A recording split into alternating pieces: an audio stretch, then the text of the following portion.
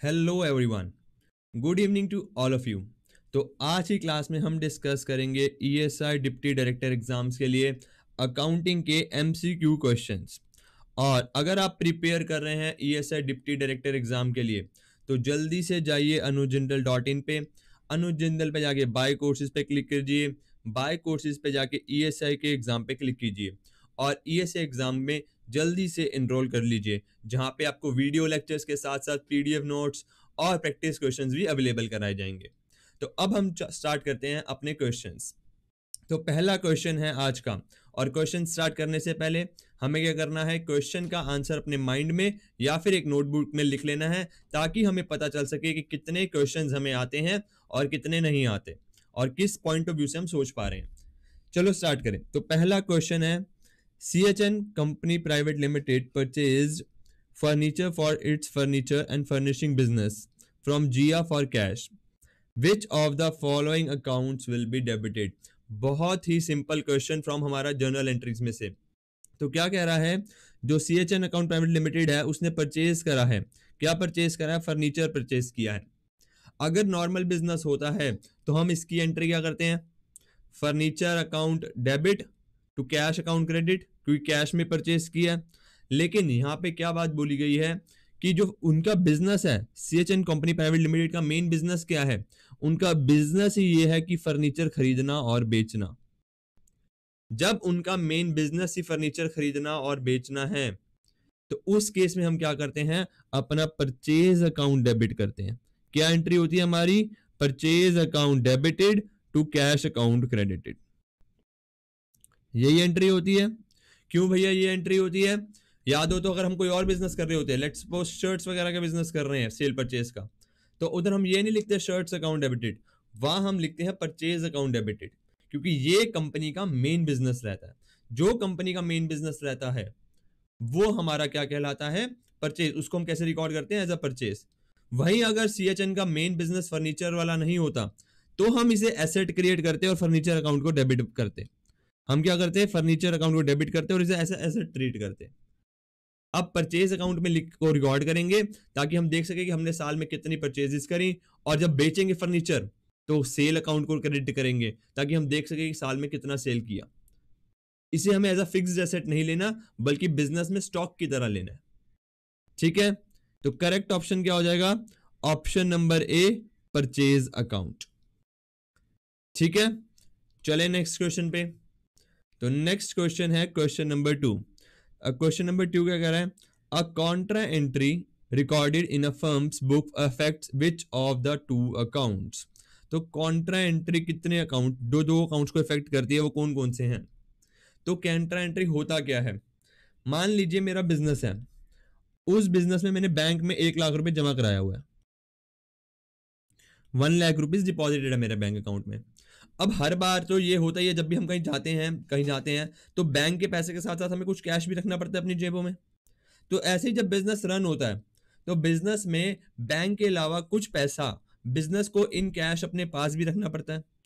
मान लीजिए कैश खत्म हो गया, अब बिज़नेस क्या करेगा? अपने बैंक अकाउंट से विड्रॉ कर लेगा। जो बिज़नेस क्या करेगा? अपने बिज़नेस अकाउंट वाला, जो बैंक अकाउंट है, उससे विड्रॉ करेगा और अपने पास कैश रखेगा। उसमें क्या हो रहा है? हमारा जो कैश है बैंक से कैश इन हैंड में ट्रांसफ़र हो रहा है। अमाउंट तो उतनी रह रही है ना, जो हमारे करंट एसेट्स और कैश एंड कैश इक्विवेलेंट्स है, वो तो सेम ही रह रहे हैं। बस हो क्या रहा है? बैंक अमाउंट से ट्रांसफ़र हो रहा है कैश इन हैंड में। तो उस एंट्री को हम क्या कहते हैं? कॉन्ट्रा एंट्री क्योंकि जब हम वो बनाते होते थे कैश एंड बैंक अकाउंट तो उसमें हम क्या करते थे? उसमें हम क्या करते थे? यहाँ पे एक एंट्री पास करते थे, मान लीजिए, और यहाँ पे एक एंट्री पास करते थे। मतलब एक ही एंट्री हमारी दोनों अकाउंट्स को अफेक्ट कर रही है। कैश को भी, बैंक को भी। तो वो हमारी क्या कहलाती है? कॉन्ट्रा एंट्री या फिर विदड्रॉ करने की बजाय, अगर हम डिपॉजिट करते हैं, तब भी क्या होती है हमारी? कॉन्ट्रा एंट्री क्यों भाई? कैश इन हैंड कम हो जाता है और बैंक अकाउंट बढ़ जाता है। ठीक है? कैश अकाउंट का डेबिट और क्रेडिट दोनों साइड एक साथ इफ़ेक्ट होती है कॉन्ट्रा एंट्री में। तो कौन से दो अकाउंट इन्वॉल्व हो जाते हैं? एक तो हमारा कैश अकाउंट और एक हमारा बैंक अकाउंट तो करेक्ट ऑप्शन क्या हो जाएगा? कैश एंड पेयर्स अकाउंट नहीं बैंक एंड ओनर्स अकाउंट नहीं ओनर्स एंड पेयर्स अकाउंट नहीं ड्रॉइंग एंड कैपिटल अकाउंट नहीं बैंक एंड कैश अकाउंट तो ऑप्शन नंबर ई हमारा करेक्ट आंसर हो जाएगा बैंक एंड कैश अकाउंट ठीक है? चले नेक्स्ट क्वेश्चन पे। तो नेक्स्ट क्वेश्चन है हमारा question number three which of the following statements is false याद रखना, इसको ध्यान से देखना ट्रू या false false with respect to cash discount cash discount से रिलेटेड कौन सी स्टेटमेंट्स फॉल्स हैं? तो अगर कैश डिस्काउंट क्या होता है? देखो डिस्काउंट हमारे दो कैटेगरीज में डिवाइड होते हैं। कौन कौन से डिस्काउंट होते हैं? एक होता है हमारा कैश डिस्काउंट एक होता है हमारा ट्रेड डिस्काउंट कैश डिस्काउंट और ट्रेड डिस्काउंट में फ़र्क क्या होता है? मान लीजिए मैंने बिज़नेस किया, मैं बिज़नेस मैन हूँ और मेरे पास माल खरीदने के लिए कोई आया गुड्स खरीदने के लिए कोई आया। ट्रेड डिस्काउंट वो डिस्काउंट होता है जो मैं उसे दूँगा कि अगर तुम ह्यूज क्वांटिटी में मेरे से सामान खरीदते हो, मेरे से बल्क में सामान खरीदते हो तो मैं तुम्हें इतनी कॉस्ट लेस कर दूँगा। मान लीजिए मैं कोई आइटम बेच रहा हूँ हंड्रेड रुपीज़ की शर्ट बेच रहा हूँ। मैं बोलता हूँ, अगर आप मेरे से थाउज़ेंड पीस ऑफ़ शर्ट लेते हैं तो मैं आपको नाइन्टी फाइव की शर्ट दूँगा। वो मेरा जो डिस्काउंट हो गया, वो क्या कहलाता है मेरा? ट्रेड डिस्काउंट अगर आप हमारे से ह्यूज क्वांटिटी में मटेरियल खरीदते हैं तो जो उस पर डिस्काउंट मिलता है सेल बायर को वो होता है ट्रेड डिस्काउंट कैश डिस्काउंट क्या होता है कि मान लीजिए जब ट्रेडर आया, उसने क्रेडिट पे सामान लिया। या कैश पेमेंट करने के लिए जो हम डिस्काउंट देते हैं, वो होता है हमारा कैश डिस्काउंट एक एग्जांपल ले लो।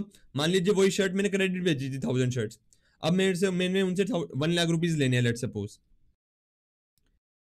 मेरी डेट थी कि भाई तीन महीने बाद आप मेरे को वन लाख रुपीज़ चुकाओगे। लेकिन मैं क्या कहता हूँ कि अगर आप मुझे वन लाख रुपीज़ अभी चुकाते हो, या मान लो एक महीने बाद चुकाते हो तो आप वन लाख की बजाय मेरे को नाइन्टी फाइव थाउज़ेंड दे देना। तो वो जो डिस्काउंट दिया कैश पेमेंट करने पे जो डिस्काउंट मिलता है, उसे हम कहते हैं कैश कैश डिस्काउंट समझ आया? पेमेंट करने पे कैश की पेमेंट करने में जब सेल्स होती है, जो डिस्काउंट दिया जाता है, वो हमारा कहलाता है कैश डिस्काउंट और ह्यूज क्वांटिटी में या ट्रेड करने में हमारे साथ जो करते हो, कि हमने हमारे साथ बड़ा बिज़नेस किया आपने, उससे रिलेटेड जो डिस्काउंट दिया जाता है, वो कहलाता है हमारा ट्रेड डिस्काउंट। तो अब देख लेते हैं कौन कौन सी स्टेटमेंट्स हमारी सही है कैश डिस्काउंट के लिए और कौन कौन सी गलत है ट्रेड डिस्काउंट के लिए। Cash discount is offered in order to encourage prompt payment बिल्कुल ठीक बात कि जो हमारा बायर है, वो हमें जल्दी से जल्दी कैश पेमेंट कर दे। उसके लिए हमारा क्या दिया जाता है? कैश डिस्काउंट सर, अब कैश पेमेंट चाहे उसने सामान खरीदे कैश पेमेंट क्यों करते हैं? देखो, अगर वो जल्दी कैश पेमेंट करेगा तो हमें उसका बैड डेट होने का प्रॉब्लम से थोड़ी छुट छुटकारा रहेगी कि हाँ प्रॉब्लम फ्यूचर में हमें टेंशन कम रहेगी। फिर साथ साथ हम उस कैश को यूटिलाइज कर ले सकते हैं बिज़नेस में। तो इसलिए कैश डिस्काउंट दिया जाता है कि जो हमारा बायर है, वो जल्दी से जल्दी पेमेंट करा जाए। फिर ये स्टेटमेंट तो बिल्कुल ठीक हो गई कैश डिस्काउंट से रिलेटेड नेक्स्ट स्टेटमेंट क्या है? नेक्स्ट स्टेटमेंट है cash discount is not recorded in the books of account ये बिल्कुल गलत स्टेटमेंट है। क्यों? हमारा ट्रेड डिस्काउंट रिकॉर्ड नहीं होता। हमारा कैश डिस्काउंट बिल्कुल रिकॉर्ड होता है बिज़नेस में जब हमारा पेमेंट करी जाती है। ठीक है? तो ये स्टेटमेंट गलत है।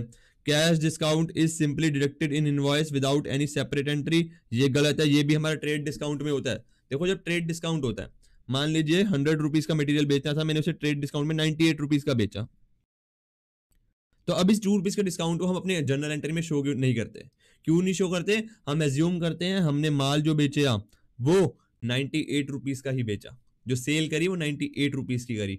ये सिर्फ़ बिल में दिखाया जाता है। कैश डिस्काउंट, ये ट्रेड डिस्काउंट होता है हमारा।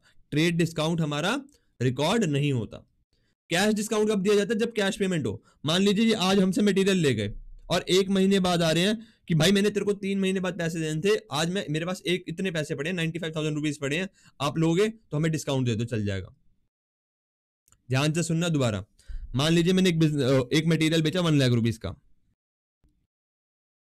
पर्सन ने मेरे को दिसंबर में पेमेंट करनी थी। वन लाख रुपीज़ का मटेरियल बेचा पर्सन ने मेरे को दिसंबर में पेमेंट करनी थी। मान लीजिए वो मेरे पास अक्टूबर में आ गया कि मेरे पास अभी नाइन्टी फाइव थाउज़ेंड रुपीज़ आए हुए हैं। आप मेरे से नाइन्टी फाइव थाउज़ेंड रुपीज़ ले लीजिए और मेरा हिसाब क्लियर कर दीजिए। तो ये जो फाइव थाउज़ेंड रुपीज़ का डिस्काउंट दिया, ये कब दिया? जब वो कैश पेमेंट करने आया। और इसे मैं रिकॉर्ड करूँगा कि हाँ मैंने उसको नाइन्टी फाइव थाउज़ेंड में सेटल किया है। ठीक है? तो ये रिकॉर्ड होती है हमारी ट्रांजेक्शन और ना कि इनवॉइस में जाती है। तो ये थर्ड पॉइंट भी गलत हो गया। फोर्थ पॉइंट क्या है? Cash discount is recorded along with the entry of payment तो ये पॉइंट हमारा करेक्ट हो गया। तो कौन कौन से फॉल्स हैं? टू और थ्री तो करेक्ट ऑप्शन हो जाएगा option number D option number D हमारा करेक्ट आंसर हो जाएगा टू एंड थ्री ठीक है? चले नेक्स्ट क्वेश्चन पे। तो नेक्स्ट क्वेश्चन है हमारा question number fourth if a journal entry has been made with a wrong amount which of the following error will take place while preparing the trial balance तो जब trial balance create कर रहे हैं तो उसमें अगर हमने गलत एंट्री रॉन्ग अमाउंट से एंट्री पास कर दी है रॉन्ग अमाउंट से एंट्री पास कर दिया है तो उससे रिलेटेड एरर कौन सा होता है? देखो, जब हमने एरर्स पढ़े थे तो एरर्स को हम चार पार्ट्स में क्लासिफाई करते हैं। कौन कौन से error error of omission error of commission फिर हमारा एरर ऑफ़ प्रिंसिपल फिर साथ साथ कंपनसेटिंग एरर यही बात करी थी हमने। एरर ऑफ़ ओमिशन क्या होता है? जब अकाउंटेंट कोई एंट्री रिकॉर्ड करना भूल जाता है, उसको हम क्या कहते हैं? एरर ऑफ़ अमिशन ठीक है? एरर ऑफ़ कमीशन क्या होता है? जब कोई अमाउंट गलत लिख दी जाए या फिर जब हम लेजर में लेजर से ट्रायल बैलेंस में ट्रांसफ़र हो रहे हैं लेजर से उठा के अमाउंट ट्रायल बैलेंस में ट्रांसफ़र कर रहे हैं, तब कोई एरर हो जाए तो वो हमारा क्या होता है? Error of commission error of principle क्या होता है? जब कोई प्रिंसिपल फॉलो ना किया जाए, मान लीजिए किसी को करंट एसेट लेना था, उसको एक्सपेंस ट्रीट कर दिया तो वो होता है हमारा error of principle compensating errors क्या होते हैं? कंपनसेटिंग एरर्स होते हैं मतलब दो गलतियाँ हुई, दोनों से कंपनसेट हो गए। मान लीजिए, मैंने एक अकाउंट में अमित को डेबिट करना था थाउज़ेंड रुपीज़ से और मैंने सिर्फ़ डेबिट कर दिया हंड्रेड रुपीज़ से। वही अगले में क्या करा? थाउज़ेंड से करना था, वहीं पे हमने कम से कर दिया। मतलब हुआ क्या? कंपनसेटिंग एरर्स क्या होते हैं? कि एक एरर दूसरे एरर को छुपा देता है। एग्ज़ाम्पल देखो लेट सपोज़ मैंने अमित को डेबिट करना था थाउज़ेंड रुपीज़ से। गलती से मैंने कर दिया हंड्रेड रुपीज़ से। ठीक है? वहीं एक एंट्री में मेरे को किसी और को डेबिट करना था, वहाँ मैंने अमित को डेबिट कर दिया नाइन हंड्रेड से। अब इससे क्या हुआ? जो अमित अकाउंट था दो एरर के कारण बिल्कुल ठीक हो गया। पहली गलती क्या हुई? थाउज़ेंड से होना था। दूसरी गलती क्या हुई थी? नहीं होना था, बल्कि हो गया। तो उससे क्या हुआ? थाउज़ेंड से डेबिट हो गया। ये होता है कंपनसेटिंग एरर कि भाई एक, दो गलतियाँ होने के कारण गलती अपने आप कट गई। वो होते हैं कंपनसेटिंग एरर तो यहाँ पे क्या है? जो हमारी गलती हुई है जर्नल एंट्री पास करते वक्त रॉन्ग अमाउंट डाल दी गई है।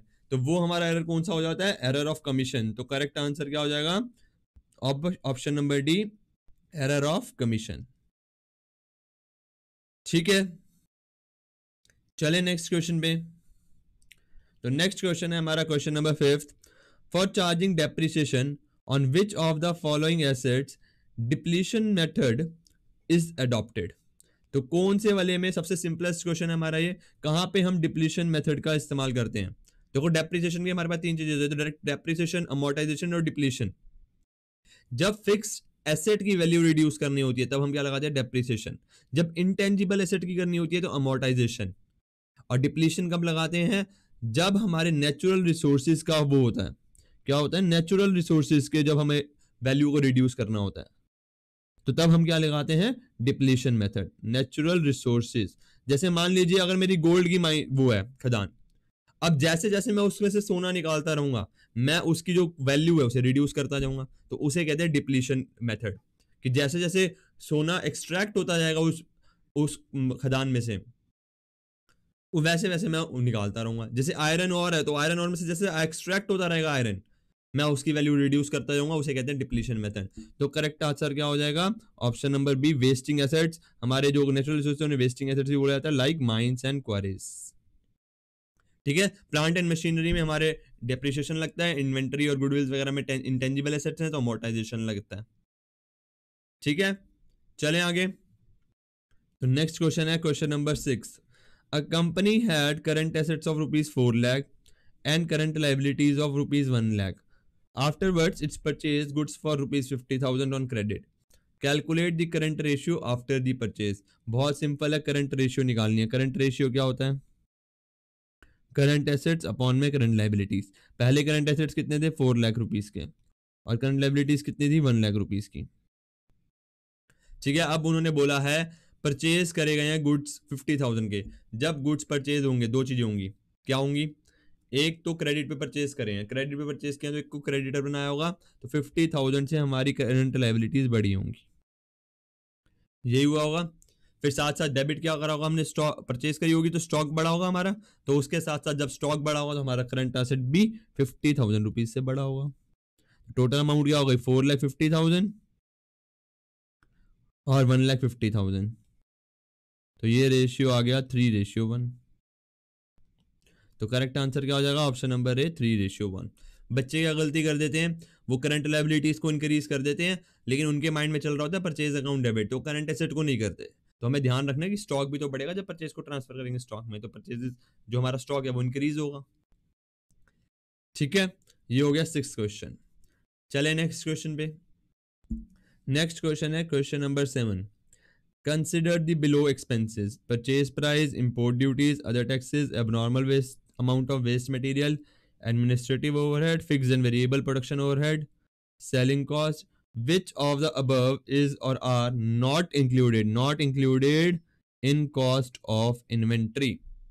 इन सब में से कॉस्ट ऑफ़ इन्वेंट्री में इंक्लूडेड कौन कौन से नहीं होते तो जब हम अकाउंटिंग स्टैंडर्ड नंबर टू पढ़ते हैं तो उसमें कॉस्ट ऑफ़ इन्वेंट्री में कितनी चीज़ें इंक्लूड होती हैं तीन चीज़ें कौन कौन सी? एक तो हमारा आता है कॉस्ट ऑफ़ परचेज फिर हमारा आता है कॉस्ट ऑफ़ कन्वर्जन फिर तीसरी कॉस्ट क्या होती है? अदर कॉस्ट अकाउंटिंग स्टैंडर्ड में हमने यही पढ़ा था कि कॉस्ट ऑफ़ इन्वेंट्री में हमने तीन चीज़ें इंक्लूड करनी है।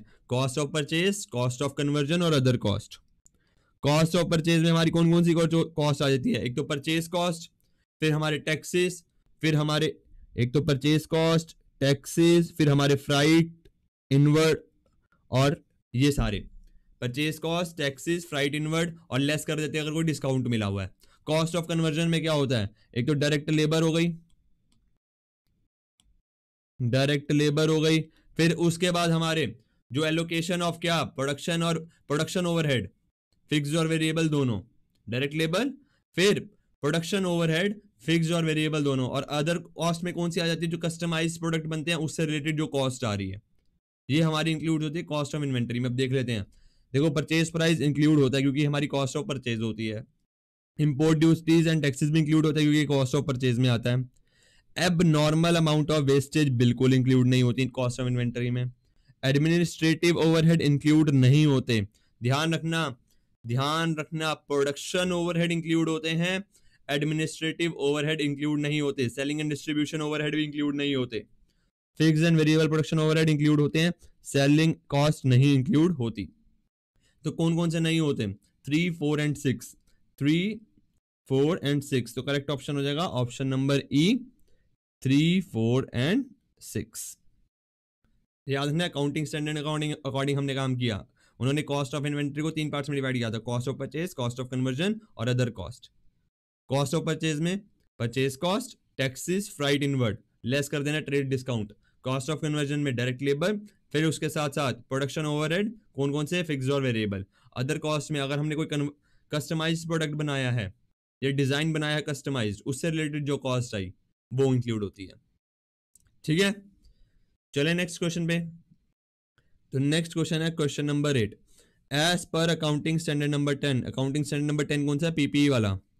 प्लांट प्रॉपर्टी एंड इक्विपमेंट वाला एन एंटरप्राइज शुड चूज़ इधर डैश मॉडल और the dash model as its accounting policy and apply that policy to entire class of P P E plant property plant and equipment तो हमारे पास recording के दो methods होते हैं। कौन कौन से दो मैथड्स होते हैं?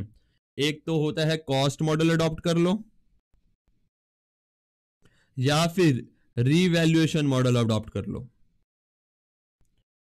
कॉस्ट मॉडल और रिवैल्यूएशन मॉडल में फ़र्क क्या होता है? कॉस्ट मॉडल में क्या होगा? बिज़नेस रिकॉर्ड करेगा अपनी सारी एसेट्स पीपी किस पे? कॉस्ट पे। और हर साल उस पर डेप्रिसिएशन लेस करता रहेगा। रिवैल्यूएशन मॉडल में क्या होता है? वो हर साल, कुछ दस साल या मतलब तीन से पाँच साल बाद क्या करेगा? अपने एसेट्स को रिवैल्यू करेगा और साथ साथ लेस करेगा डेप्रिसिएशन वगैरह। तो ये दो ऑप्शन होते हैं बिज़नेस के पास वो रिवैल्यूएशन मॉडल भी अडॉप्ट कर सकता है कॉस्ट मॉडल भी अडॉप्ट कर सकता है। रिवैल्यूएशन में अगर कोई एसेट की वैल्यू बहुत फ्रीक्वेंट चेंज होती है तो उसे हर साल रिवैल्यूएशन करना होता है। ठीक है? तो करेक्ट आंसर क्या हो जाएगा इसका? Cost model and revaluation model तो option number C cost and revaluation ठीक है? चले नेक्स्ट क्वेश्चन पे। नेक्स्ट क्वेश्चन क्या है? A company can not issue fully paid bonus shares to its share holders out of बहुत ही सिंपल क्वेश्चन हमारा किससे रिलेटेड है? कंपनीज़ एक्ट से रिलेटेड कंपनीज़ एक्ट में 2013 में, जो सेक्शन सिक्सटी थ्री है हमारा, वो हमें बताता है कि जो हमारे बोनस शेयर्स हैं, वो कैसे इशू हो सकते हैं मतलब कहाँ कहाँ से इशू कर सकते हैं, वो तीन चीज़ें डिफाइन करता है। क्या चीज़? या तो अपने फ्री रिज़र्व में से कर सकते हैं कंपनी फ्री रिज़र्व में से, या फिर सिक्योरिटी प्रीमियम रिज़र्व में से, या फिर कैपिटल रिडम्शन रिज़र्व में से। इन तीनों में से ही सिर्फ़ कंपनी अपने बोनस शेयर्स इशू कर सकती है। और कहीं से कंपनी अपने बोनस शेयर्स इशू नहीं कर सकते तो अपने फ्री रिज़र्व में से कर सकती है रिवैल्यूएशन रिज़र्व में से नहीं कर सकती सिक्योरिटी प्रीमियम में से कर सकती है कैपिटल में से कर सकती है। तो हमसे पूछा क्या था? कैन नॉट इशू तो कैन नॉट इशू क्या हो जाएगा हमारा? Option number B revaluation reserve तो करेक्ट आंसर क्या है? कि कंपनी अपने रिवैल्यूएशन रिज़र्व में से अपने बोनस शेयर्स इशू नहीं कर सकती। चले लास्ट क्वेश्चन पे और लास्ट क्वेश्चन आपको आंसर देना होता है कमेंट बॉक्स पे हर बार की तरह। आपको क्या करना है? टेंथ क्वेश्चन का आंसर कमेंट बॉक्स पे मेंशन करना है। क्या क्वेश्चन है? Which of the below following transaction is not classified as investment activity तो कैश फ्लो में से हमारा ये क्वेश्चन है। इनमें से कौन सी एक्टिविटी इन पाँचों में से हमारी इन्वेस्टमेंट एक्टिविटी नहीं है? ठीक है? ये आंसर आप मुझे कमेंट बॉक्स पे दीजिए। ठीक है? आज की क्लास के लिए इतना ही। Bye bye take care see you soon